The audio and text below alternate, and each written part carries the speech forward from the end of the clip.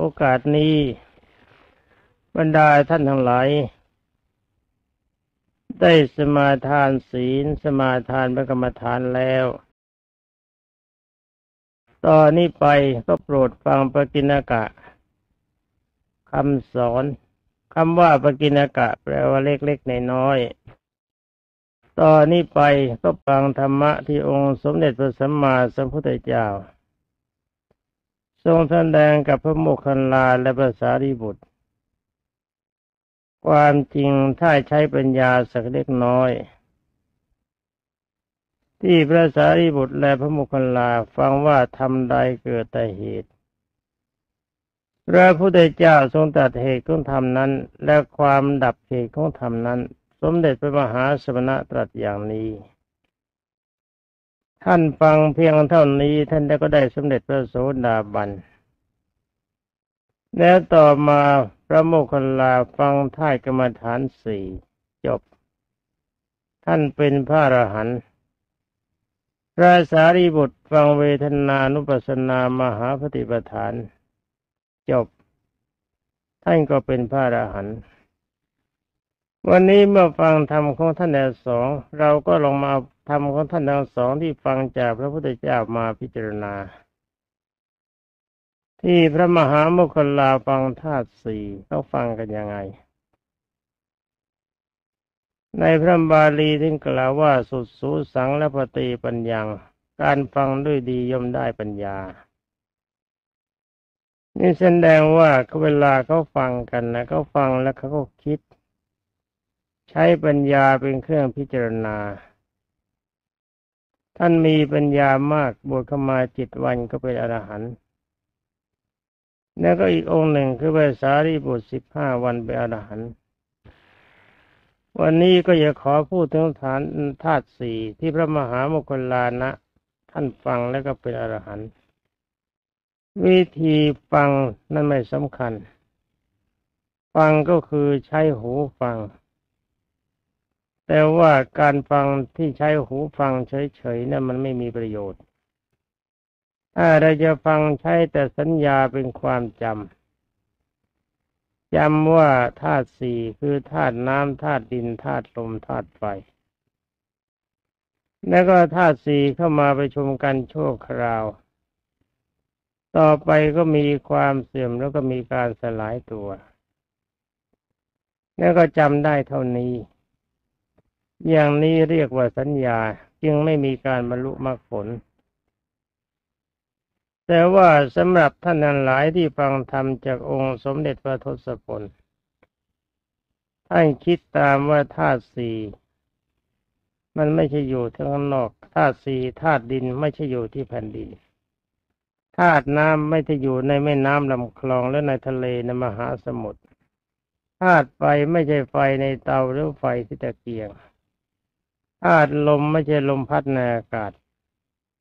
นี่หมายถึงว่าร่างกายของเรานี่มันประกอบไปด้วยธาตุสี่ของที่มีสภาพแข็งเช่นหนังเนื้อกระดูก อย่างนี้เรียกว่าธาตุดินเลือดน้ำลาย น้ำเลือดน้ำเหลืองน้ำหนองปัสสาวะ น้ำเหงื่อน้ำใครอย่างนี้เรียกว่าธาตุน้ำ อาการพัดไปมาในร่างกายมีลมหายใจเข้าออกเป็นต้น เรียกว่าธาตุลม ความอบอุ่นในร่างกายเรียกว่าธาตุไฟนี่ร่างกายของเราจะทรงอยู่ได้ก็เพราะว่าธาตุสี่มันมีความสามัคคีกัน ถ้าธาตุทั้งสี่นี่มันยังมีกำลังสม่ำเสมอกันเพียงใด ร่างกายของเราก็เป็นร่างกายที่ปกติ มีความสมบูรณ์เปล่งปลั่ง ไว้ด้วยผิวพรรณวันนะกำลังวังชาก็ดี แต่ว่าธาตุสีนี่ถ้าปราศจากความสามัคคีกันขึ้นมาเมื่อไรธาตุน้ำลดหย่อนลงไปร่างกายก็สุดโทรมที่หมอเวลารักษาเขาต้องให้น้ำเกลือช่วย หรือว่าให้เลือดช่วย เพราะว่าธาตุน้ำมันสุดโทรมมันหย่อนลงไปร่างกายจึงหมดกำลังกลายเป็นร่างกายที่มีโรค ถ้าธาตุดินมันหย่อนหมายความว่าอาหารที่เรากินเป็นคำข้าวหรืออาหารที่เป็นก้อนกินเข้าไป มีประโยชน์ไม่พอเลี้ยงกับร่างกาย ร่างกายก็ไม่สามารถจะสร้างกำลังให้เกิดความสมบูรณ์แบบได้นี่ธาตุดินที่สมบูรณ์แบบอยู่แล้วในเมื่อหาของไปเสริมไม่ได้ มันก็ย่อหย่อนลงไป อย่างนี้ก็เกิดโรค ธาตุไฟคือความอบอุ่นในร่างกายสลายตัวไปย่อหย่อนลงไป ความเย็นมันเกิดขึ้นมามาก อย่างนี้ร่างกายก็มีโรคไปกำลังก็ตกไป ถ้าธาตุลมในร่างกายไม่สะดวกในการพัดไปมา ก็ทำให้ร่างกายของเราถอยกำลังลง ที่เรียกว่าปอดทำงานไม่เต็มที่หายใจไม่สะดวกหายใจไม่เต็มที่ อย่างนี้ร่างกายก็สุดโทมเป็นอันว่าร่างกายที่ประกอบไปด้วยธาตุสี่มันมีสภาพทรงตัวชั่วคราว มันไม่มีสภาพทรงตัวถาวรตลอดการตลอดสมัย ถ้าเราเห็นว่าร่างกายเป็นเพียงธาตุดินธาตุน้ำธาตุลมธาตุไฟที่มันประกอบเข้ามาเป็นร่างกายโดยเท่านั้น เราก็ว่ากันทีเดียวหลาย ๆ อย่าง องค์สมเด็จพระสัมมาสัมพุทธเจ้าทรงตรัสว่าโมคคัลลาแต่เห็นว่าธาตุสี่ทั้งหมดนี้เป็นของเป็นเธอหรือพระโมคคัลลาก็ทรงต่อทูลตอบว่าไม่ใช่พระเจ้าค่ะเออถ้าว่าธาตุสี่มีในเธอ เธอมีในธาตุสี่ท่านก็ตอบว่าไม่ใช่พระเจ้าค่ะ ในเมื่อธาตุสี่ไม่ใช่เราไม่ใช่ของเรา หรือเราไม่มีในธาตุสี่ธาตุสี่ไม่มีในเรา เราควรจะยึดถือว่ามันเป็นเราเป็นของเราต่อไปหรือพระโมคคัลลาก็กราบทูลว่าไม่ใช่พระเจ้าค่ะยิ่งกล่าวว่าโมคคัลลานะ ถ้าอย่างนั้นเธอจงวางคันภาระในธาตุสีนี้เสีย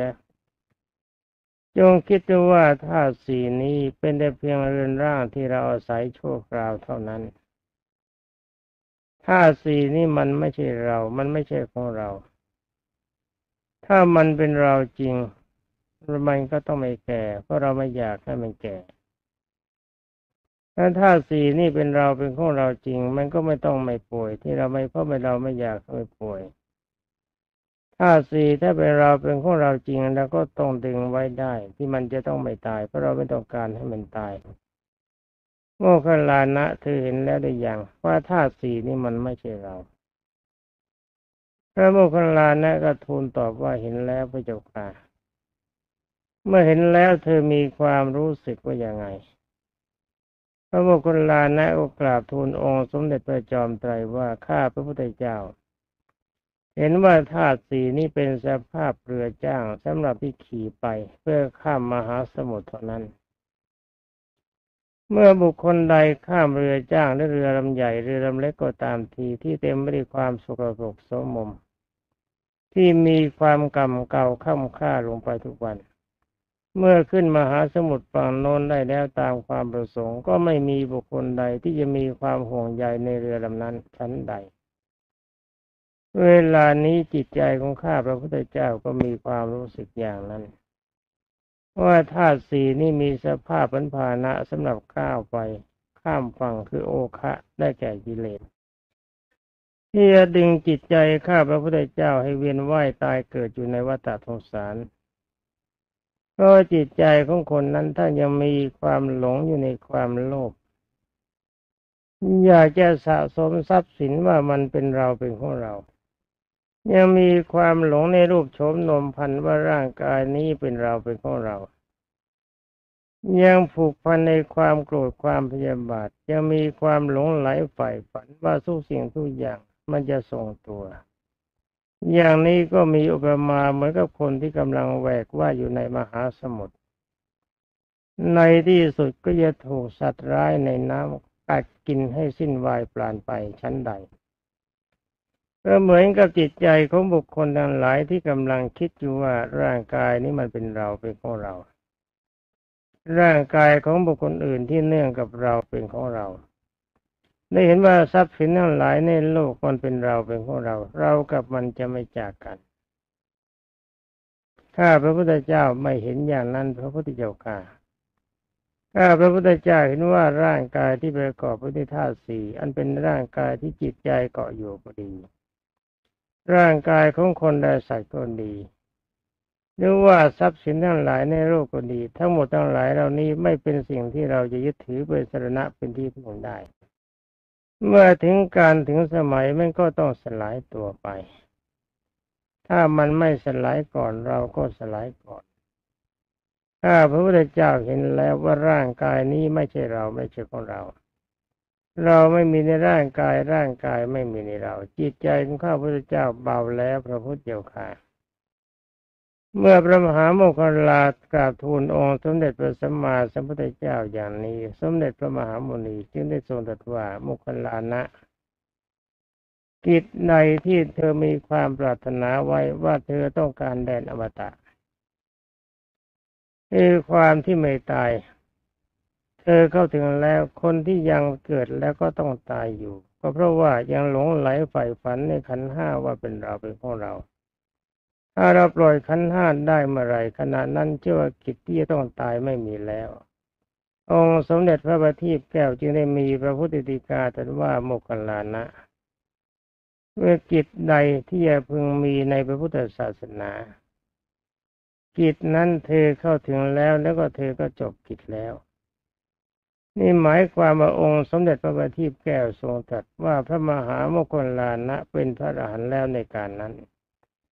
ได้ทรงตรัสประต่อไปว่ากิจอื่นในศาสนานี้ไม่มีต่อไปจบกันเพียงเท่านี้ เมื่อองค์สมเด็จพระจินสีทรงตรัสอย่างนั้น พระโมคคัลลาก็เห็นด้วยเพราะเวลานั้นอารมณ์ใจของท่านเบา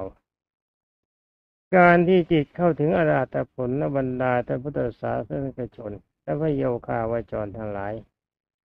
คนนั้นมีอารมณ์เบาคำว่าอารมณ์หนักเกาะนั่นเกาะนี่ห่วงนั่นห่วงนี่แม้แต่ชีวิตตินสีย่อมไม่มีสำหรับท่านพระอรหันต์และขอบรรดาท่านพุทธบริษัททุกท่านและพิสุทธิสมณีทั้งหลาย ฟังแล้วก็จำจำแล้วก็มันคิด